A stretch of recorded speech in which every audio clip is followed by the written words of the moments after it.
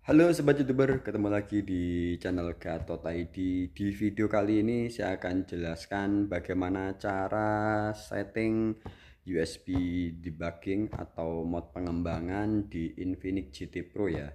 Karena saya baru mendapat eh, apa permintaan dari user eh, bagaimana cara setting pengembangan atau USB debugging biar bisa diinstal aplikasi yang ada di luar Play Store atau digunakan untuk root eh, sebuah game ataupun aplikasi tertentu. Nah, mau tahu caranya? Simak terus di video kali ini.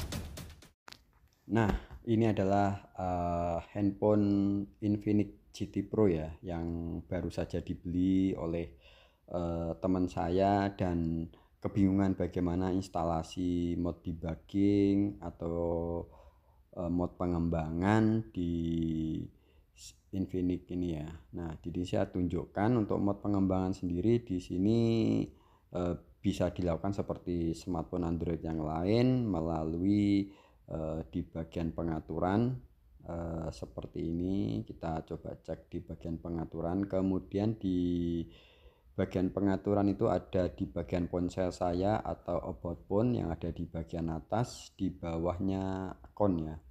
Di sini kita bisa pencet uh, atau bisa tekan ponsel saya atau about uh, about phone ya. Seperti ini kita tekan Nah, kita masuk di bagian tentang telepon ya. Kemudian kita bisa scroll ke bawah sampai menemukan nomor eh, nomor bentukan atau nomor kernel. Di sini kita bisa tekan lima kali ya. Kita pencet-pencet lima kali atau 10 kali ya.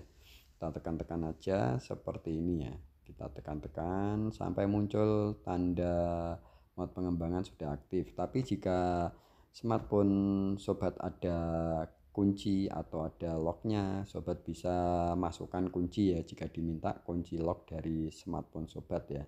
Nah setelah selesai e, masuk di mode pengembangan kita kembali di bagian mode pengaturan kita scroll ke bawah sampai menemukan e, mode e, pengembangan atau di bagian about.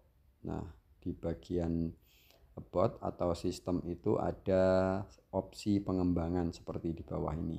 Ini opsi pengembangan, tapi kalau jika sobat ingin mengaktifkan USB debugging, silahkan tekan di opsi pengembangan, kemudian di bagian USB debugging, sobat silahkan scroll ke bawah.